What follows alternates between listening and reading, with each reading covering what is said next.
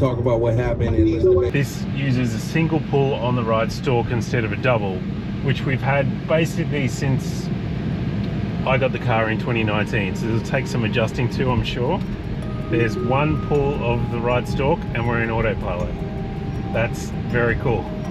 it might not seem like much, but when you've got a situation like we do in Australia where we don't have beta, we've got to disengage for a roundabout and then re-enable uh, autopilot. There we go, and we're back on. And we'll do an auto lane change. Nice, wait for this truck. So disengage, and then this is another difference where it takes out the, I would normally be in traffic aware cruise control right now and have the max still set at 60 here uh, because I broke the autopilot using, you know, steered out of it. So now, uh, scoot along and enable it.